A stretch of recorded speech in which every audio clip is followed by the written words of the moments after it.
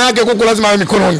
Wameingia jambo kubwa, tuendelee kumshukuru Mwenyezi Mungu, tuache ligi, wanaume wapambane, mwisho wa siku tajua enda kujua.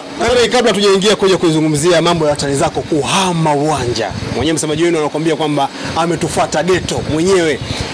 Bwana, mtani wako michezo miwili mfululizo anapoteza. Uh, mchezo dhidi ya Azam FC anapigwa bao moja, mchezo dhidi ya Tabora United anapigwa mabao matatu kwa moja.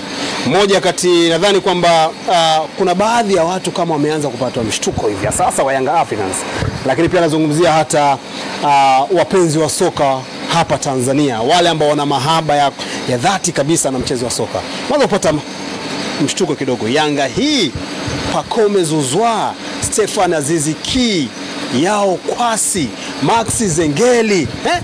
Inapigwaje michezo miwili mfululizo?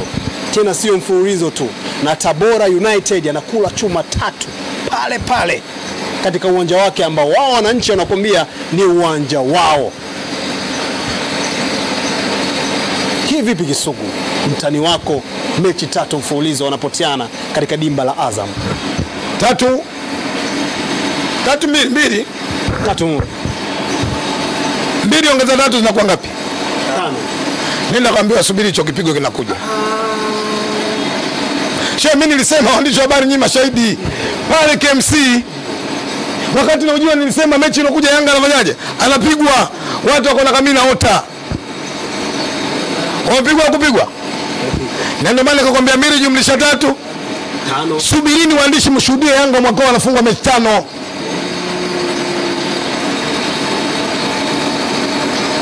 Mechi ya ligi nyingine. Tano, kazi na umri shehe,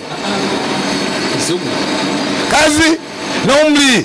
Unajua kuna watu walikuwa wanaamini kwamba akisikia kwa jirani yake Israeli wamekwenda kuchukua roho, anaamini kwake atakuwa afiki, na hicho ambacho ndio watani zangu waliamini kwamba Yanga hawezi kufanyaje? Kufungwa, na ndio maana hii leo wamefungwa, kujionea watu wanatapatapa, wanaama nini? Viwanja. Kwa hiyo mimi hiki ambacho kinatokea ndani ya Salaam Young Africans nilikijua, na naamini kuna maumivu na machungu Yanga watayapata makubwa kuliko haya. Juzi wakati nimelala usiku nikawa naota. Juzi gani? Baada ya mchezo wa Yanga au baada ya mchezo wa Yanga kupigwa goli tatu moja na, na Tabora? mm. Kaa nimelala usiku naota kuna mwamba mmoja anaitwa Jinamizi. Usiku akija huyo katika ndoto zake anajitambuliza kwamba anaitwa Jinamizi, akanambia Kisugu, amka Jinamizi, nimekuja. Nikamwambia nakusikia, unasemaje? Akasema kuna mechi Yanga anakuja kupigwa goli sita. Kisugu. Adui yako shehe, muombe njaa. Hayuko mwana Simba mwenye akili timamu kama mimi akasimama mbele ya kamera akaombea heri Dar es Salaam Africans, hayupo. Wana kikosi pana. Young Africans. Nani anakwambia maneno hayo? Kikosi akiondoka Baka timu haipo, kikosi akiondoka Jobu timu haipo, timu tegemezi ile, na wataendelea kufungwa sana kwa sana tegemezi, kwa sababu mechi zinazokuja kuna wachezaji zaidi ya sita wana kadi za njano njano, wakipigwa tena za njano njano, biashara mechi wanafanyaje? Wanapumzika, wanaume wanafanya wanafanya yao. Hiyo ndio ubaya ubwala wenyewe. Kwa hiyo kama wao wanalalamika, wanasema wamepoteza, haya machungu yataendelea. Mimi juzi nilikuwa nasikiza interview rafiki yangu wa karibu sana Mwana Godi, namkubali sana, yuko na mdogo wangu Mfamau, wamekaa wanasema, kumbe kufungwa machungu wenyewe kama haya, tunampa pole sana Kisugu. Sasa naambia wao waendelee kuvuta subira, machungu yale yanakuja zaidi kupita yale. Kisugu, umeona nini ndani ya Yanga mpaka unaamini ya kwamba Yanga msimu huu inaenda kupoteza michezo mitano mfululizo, lakini pia ah, Yanga msimu huu mambo yatakuwa mabaya zaidi, machungu yataendelea. mchezo wa wazi. Mpira ni mchezo ambao unachezwa hadharani, kila mmoja anafanyaje, anaona. Waandishi wa habari kweni wa kweli, kama kuna uasilia ungefuatwa Yanga saizi kuna mechi nne kapoteza. Kama mnafuatilia makini mpaka sasa hivi, kulitakiwa Yanga mechi ngapi? Nne, ameshapoteza moja, mechi yake ikiwa ndani ya Simba Sports. lakini kwa sababu hatutaki kuangalia nyuma yaliyopita haya, tunahitaji kuangalia mbele, nafanyaje yanayokuja. Sisi kama Simba tunahitaji nini? Ubingwa. Moja ya kupata ubingwa, kuhakikisha mechi zetu tunashinda, huku tukiendelea kumwomba Mwenyezi Mungu mwenzetu afanyaje, aharibu. Hayo ndio maisha ya asili ya Simba na Yanga, hakuna kuombeana heri.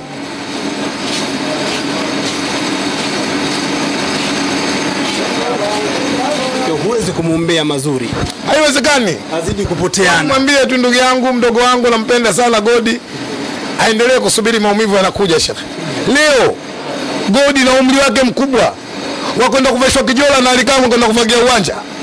Leo hii Leo Alikamwe kakaa mbele anamwagika miuno kama wazalamu wanakwenda kufagia uwanja. Are you serious?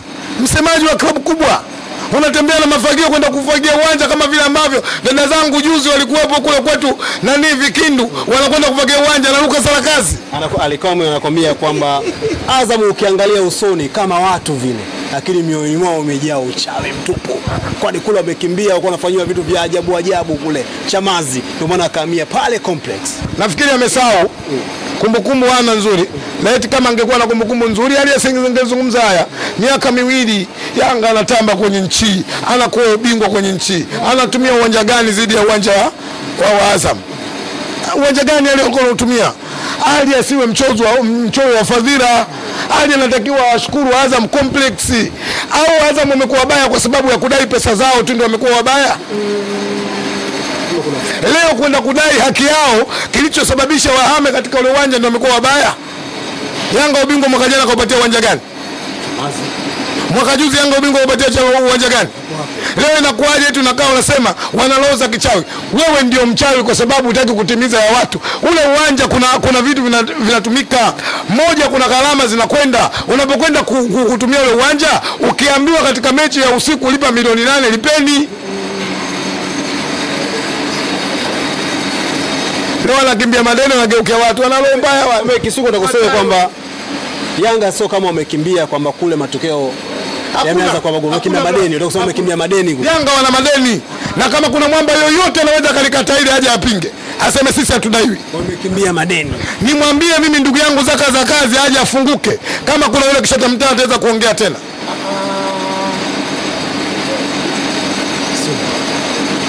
Leo kuna sababu gani ya kwama katika uwanja ambao umekupa ubingwa miaka miwili? Kupoteza game ni moja sehemu ya mchezo. Leo ushapata sababu kabisa ya msingi kama mwandishi kujua Yanga kimechondoa katika uwanja ni hiki. Ipo sababu ya msingi? Kwa nini Dar es Salaam Africans wanakwenda kutangaza kwa uwanja bila kufuata kanuni? Wametangaza lini kwa uwanja? Bodi ya ligi barua wamepata lini? Kwa unaona Yanga wako sawa sawa. Huyo madeni. Uh, Azam Complex milioni nane wanakosewa kwa mchezo mmoja. KMC milioni ngapi? Sita wamepata punguzo. Hao madeni akiwa mengi watawachwa watakimbia, siwezi kuama. Bona taarifa zinasema za ndani kwamba kocha Gamondi naye kama kuna vikao vikao vinaendelea sasa hivi baada ya vipigo viwili Kisumu, watu wanaanza kuzungumza hivyo, wanaweza kutimuliwa yule. No comment, no comment. Yangoso wachiwe Ngoso, no comment. Yangoso mwachiwe Ngoso, no comment. Bwana, tumalizie ndugu yako bwana Haji Sande Manara. Naona juzi alikiamsha kidogo mitandaoni, kazungumza, nilikuwa nikizungumza na wewe, unaambia yule Manara yule atakuja kuwanyea Yanga yule.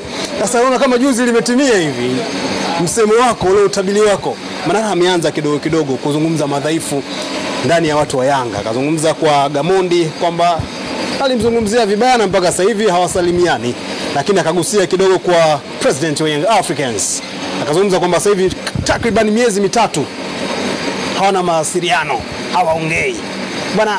Hii ya rafiki yako mkubwa Haji Sande Kisugu na kipi cha kuzungumza kwa ndugu yenu mwana Simba wewe? Naona sasa hivi anaanza mengine. Mimi naamini sio wakati mwafaka sana kumzungumzia Haji. Miezi miwili iliyopita nilizungumza na nilimwambia Haji, imefika wakati lazima ukubaliane na hali halisi ya mambo jinsi yalivyo hivi sasa. Nimwambia Haji, ilifika wakati sasa atandike daruga, aendelee na maisha mengine. Mwanzo wa Haji ulikuwa mzuri, asipokuwa makini Haji anakwenda kumaliza mwisho mbaya. Kwa hiyo kikubwa nimwombe Haji akae tu ajitafakari kuona namna ambavyo mabadiliko ya mpira hivi sasa wa miguu ulivyokuwa, namna ambavyo wasemaji wamebadilika katika kuzisemea timu zao. Ajichekeche mwenyewe, ajiangalie, akiona bado ana standard ya kupambana kwenye football, aendelee kupambana. Akiona mimi tena umri wangu umepita, akae chini, aangalie familia, maisha mengine afanyeje, kwa sababu hakuna jambo lilikuwa na mwanzo likakosa kuwa na mwisho. Watu wanasema kwamba Haji hakustahili kuongea vile katika media, kila mtu aone kwamba anafanyiwa hivi au kuna mengi anaendelea hivi. Anakuambia vile kama kutengeneza uadui zaidi na Haji. Kwani wakati anatoka Simba walikuwa anasema alistahili kuwa anasema Kwa hiyo Haji inawezekana na tatizo. Nasema wakati anatoka Simba yale alikuwa anasema yalikuwa anastahili kuyasema. Kwa nini sasa hivi ametoka anayasema? Mnasema kuna watu wanasema hayastahili Haji kuyasema, anafanyaje? Anayoyasema. Lakini watu wanaozungumza kwamba sasa hivi Haji hastahili kuyasema, wakati alikuwa anavyosema kutoka Simba walikuwa mpiga makofi na kufanyaje na kushangilia. Si nimeeleweka vizuri hapo? Kwa hiyo wakubali tu, ila nimwambie aje, kama vita ikiwa kubwa ameshe kwangu nimsaidie. Wasaidie wapi Yanga? Anataka kununua timu, anakwambia anakwambia anataka timu yake ya ligi kuu. kama akiona mambo magumu, watoto washaona wanaanza kumpalatua palatua yule, message anazo, mabaya anayajua, basi namba yangu si anayo tu atume, Ambe bwana, ondoka na hii. Shukrani ndugu yangu. Asante, leo nashukuru sana.